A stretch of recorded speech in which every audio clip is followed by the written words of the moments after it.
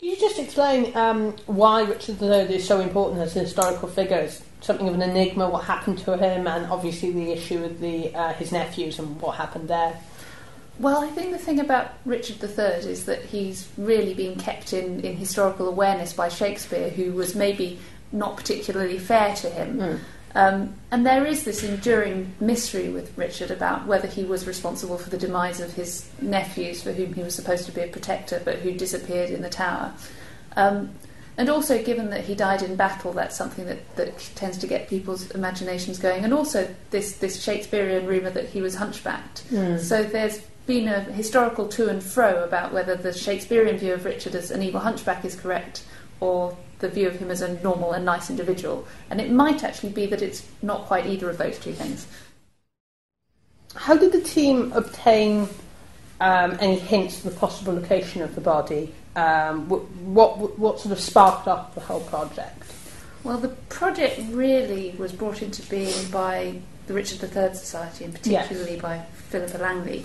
Yeah. Um, and they were very keen to go and investigate the area of the Greyfriars Priory in Leicester because um, there's historical evidence that that's where Richard III was buried. right. Now, after the Reformation, the priory buildings were the friary buildings were, were taken down and the stone, a lot of it reused elsewhere. Yeah. So the precise location of it had been lost. right. Um, I think there's an 18th century map, it might even be 19th century, that that that gives enough about the location of where the friary had been. Right. We knew it was roughly in that area. okay. Um, there are a lot of standing buildings in that area. We obviously can't uh, excavate underneath any of those. Yes. So the area of the car park was, was the place that we had to look. And it was actually Richard Buckley of ULAS that came up with the strategy for excavation, which was roughly that most ecclesiastical buildings have an east-west orientation. Yes, yes. Um, so thereby, if you want to find an ecclesiastical building and you're not quite sure where it is, the best thing to do is to put in a series of north-south trenches. Yes, Um, so that's, that was really what the project set out to do, is to, to locate the buildings associated with the friary and go from there.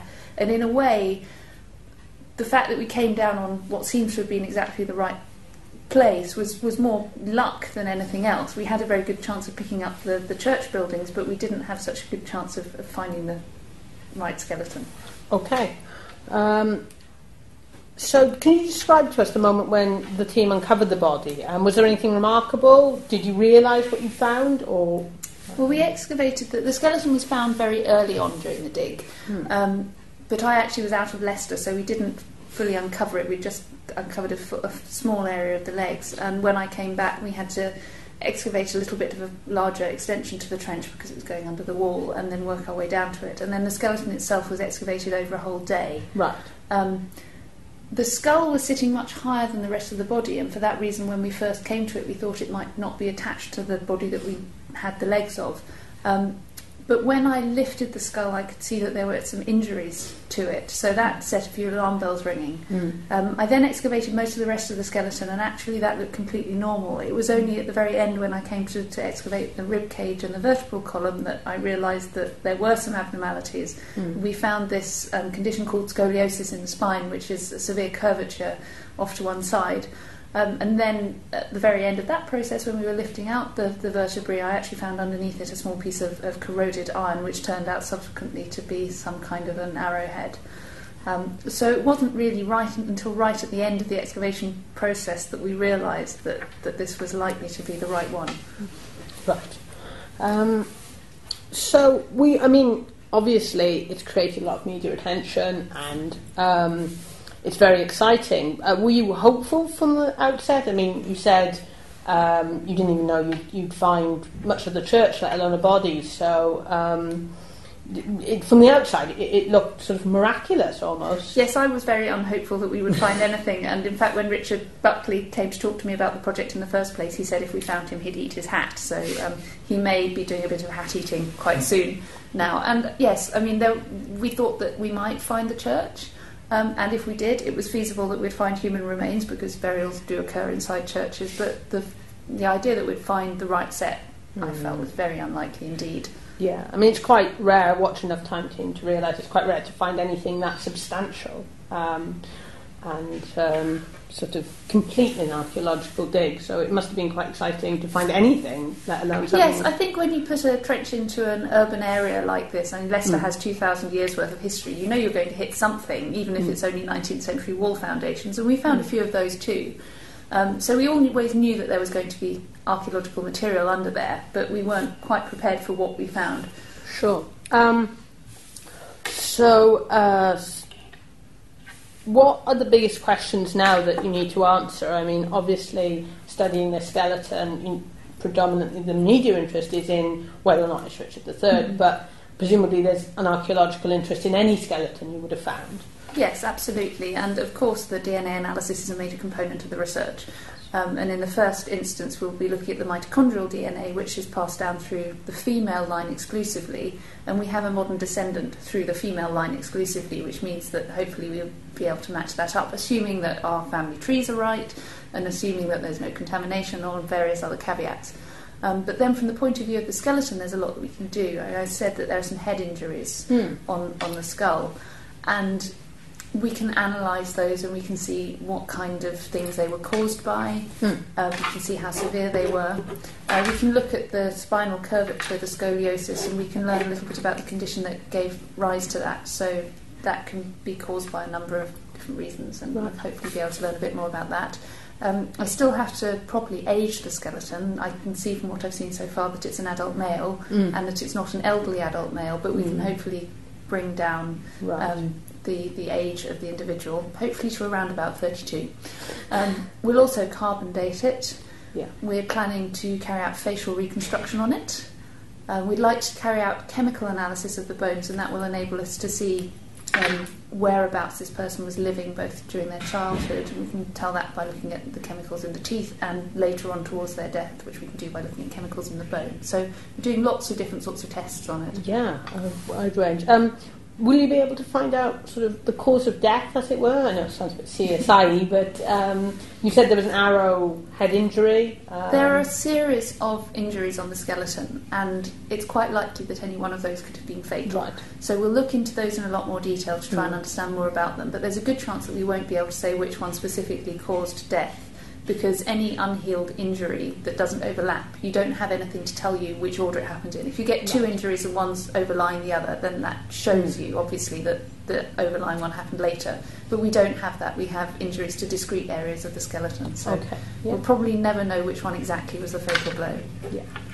Um, so you said there's a lot of tests, chemical tests for the teeth and such. Would these have been possible sort of 10, 20 years ago? What technological advances um, have, have made this sort of kind of study possible? Well, DNA research in particular is moving on all the time, and it's Yeah. becoming um, much more feasible to extract DNA from archaeological skeletons. I mean, it's been going on for a while, and I think the first work on Neanderthal DNA was published in 1997. So, you know, this is an ongoing thing. But, but yes, techniques are coming on all the while, and DNA is obviously very significant for Leicester, seeing as we're the birthplace of DNA fingerprinting. Um, but also the other methods, um, isotopic research again has been going on for quite a lot of time, but methods are always improving. Um, carbon dating, we can now use much smaller samples than we used to, which is great because it involves very little destruction of the bone. You can do it with just a few grams, so you hardly even notice it's gone now. Um, so, so yes, it's not necessarily that the techniques are completely new in the last few years, but they're moving on all the time. looking, I mean, you were saying they're moving on. Um, obviously, the Richard III Society are hoping there's going to be a renewed interest. Um, but what do you think the sort of right, wider research will lead from this in the next decade and decade or so? Um, do you think there'll be researchers sort of pursuing this skeleton, in, um, or, or what has led from this discovery Um, Well, I think that this skeleton itself will be reburied. There seems to be a, right, yeah. a, a large amount of public opinion in favour of that, and Yeah. we're looking into options for that at the moment. So the skeleton itself won't be around for analysis, No. um, and we hope that we'll do a very thorough analysis at the moment, so we'll get all the information that we need to out of it. Right. What we probably will be able to do in the future is to do a lot more research on the Greyfriars buildings themselves, Mm. and that actually is, is something very significant too. Um, this is a major monastic complex in Leicester that we don't really know terribly much about at the moment. So, for the local area, that could itself be quite significant. Yeah, um, I mean, I'm sure you, you're not in charge of that, but do you think that they'll um, sort of get rid of that car park and have it as an archaeological site like the um, Jewry Wall? The answer is I really don't know. Now, social services are using it as their car park for their child protection Right, services at the moment, and I assume that they're still going to need to park their cars. So it really depends on whether the council wants to reorganise and move things around so Mm. that that's possible to keep it open to the public. Mm. They've certainly refilled the, the dig at the moment, and actually, there's not a lot left to look at. Most of the walls, for example, have had the stone removed, so that we just see the trenches where that the stones come out of, rather than the walls themselves. So it's not it's not spectacular. Um, I suspect that there'll be museum exhibitions put on within the city. So you mentioned um, the possibility of the bod skeleton being reburied. Um, does that depend on it being identified as Richard III? I mean, if it's not him, what happens to the skeleton? Well, the answer is that we'll probably never to be, be able to prove absolutely for certain that it isn't Richard III. If we don't get a DNA match, then that could be because we've got the wrong skeleton, or it equally could be because there's a problem with the genealogical tree that we've got, um, which we're trying to check up on at the moment and also to identify other descendants who might be of help to us. Um, so the two options at the moment are really probably against not proven. right.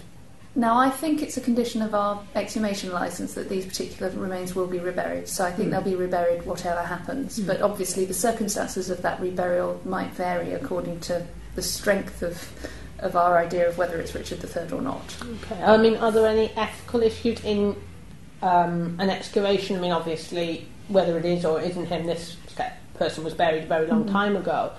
Um, but I mean, I know, for instance, in America, the Native American Indians have issues with their um, ancestors being uh, uh, um, excavated for research.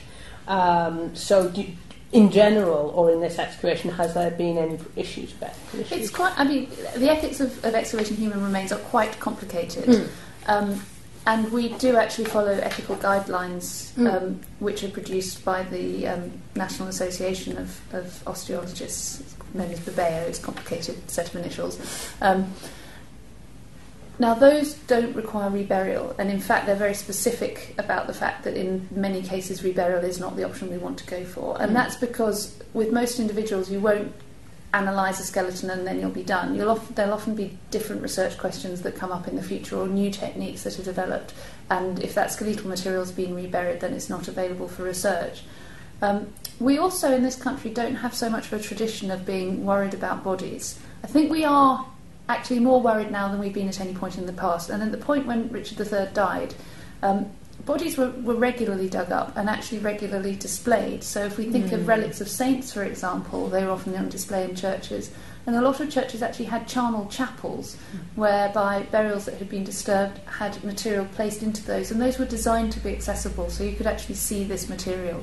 So we don't have the same idea about seeing bits of dead bodies being, being a problem as, as Native American societies, for example, would have. Um, could you sort of describe your role specifically in the in the Richard III uh, project?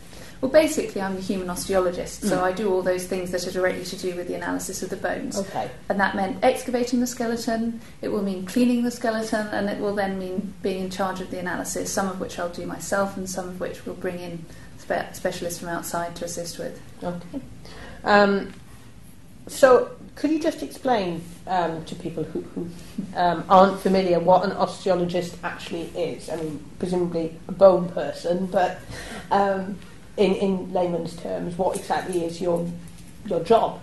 Um, My job is that I study um, skeletonized human remains from the past, right. and I do that not for fun, but because it can tell us a lot about the past. It can Yes. tell us a lot about how people lived, um, the kinds of diseases that they suffered from, what their nutritional status was like. It can tell us about society's attitudes to the body. It can tell us about things like whether there were differences between um, the lives of men and women, whether there were differences between the lives of rich and poor.